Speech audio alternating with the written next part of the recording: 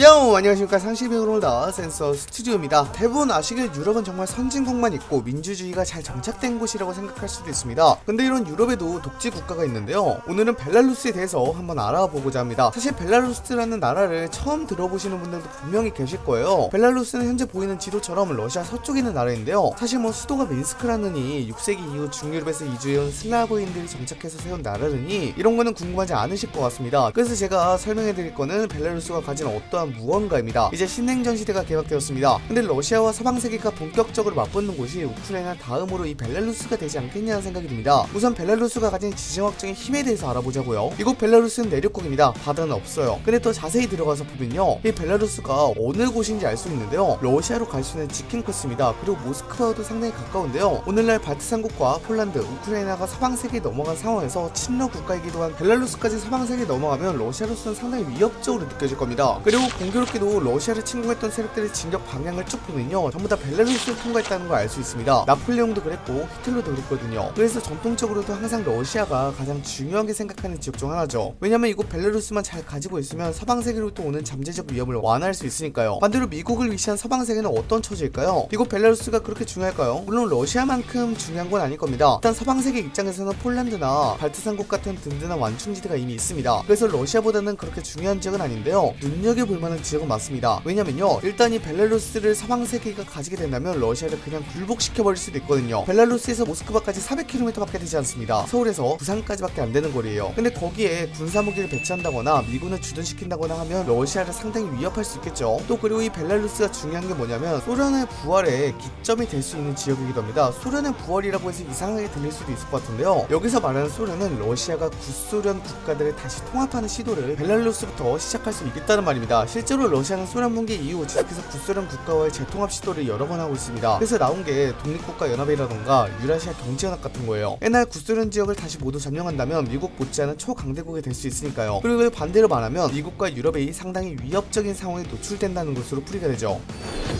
대강 러시아와 서방 세계의 입장이 무엇인지 아시겠죠? 러시아로서는 완충국과 구스런 통합을 위해 벨라루스가 필요한 거고 미국으로서는 러시아 봉쇄망의 완성과 러시아의 굴복을 위해서 벨라루스가 필요한 겁니다. 근데 오늘날의 벨라루스의 상황을 보면 러시아의 완승이라고 해도 될 정도로 현재 벨라루스는 명시상부 친러 국가입니다. 아예 2021년 9월 10일에는 러시아와 벨라루스가 국가 통합을 한다는 소식이 전달되기도 했죠. 최근의 사례를 한번 가지고 오도록 하겠습니다. 일단 벨라루스의 대통령은 독재자입니다. 루카셴코 대통령인데요. 이 루카셴코 대통령은 1994년부터 오늘까지 독재 독재를 해오고 있습니다. 근데 이 루카셴코 대통령이 실수를 좀 자주 저질렀는데요. 2020년에 벨라루스에서 대선이 열렸습니다. 근데 여기서 다시 한 번 더 루카셴코 대통령이 당선되면서 부정선거 논란이 일었고 이에 대한 항의 시위로 발전하면서 독재에 대항하는 민주화 운동이 발생이 되었는데요. 이때 유럽연합이 시위대를 지지한다고 밝혔습니다. 그래서 벨라루스와 유럽연합 간의 갈등이 점점 커지고 있었는데요. 근데 여기서 갑자기 벨라루스가 멍청한 짓을 하나 저질러요. 2021년 5월 23일에 민항기 하나를 벨라루스 상공에서 강제 착륙시키는 희대의 병크 짓을 저지릅니다. 왜냐면 이 비행 비 행기 안에 반정부 인사가 타고 있었거든요. 그래서 전투기 몰고 강제로 착륙을 시킨 거예요. 근데 이게 정상적인 나라에서는 일어날 수 없는 사건일 뿐더러 다른 나라의 항공사를 강제로 착륙시키다 보니까 벨라루스에 대한 국제적 위신이 팍 떨어지게 됩니다. 그리고 유럽연합과 미국은 이때다 싶어서 벨라루스에 대한 경제 제재를 강화하게 되는데요. 여기까지만 보면 서방 세계가 벨라루스를 압박하면서 이겨가는구나 라고 생각했습니다. 근데 벨라루스는 생각보다 더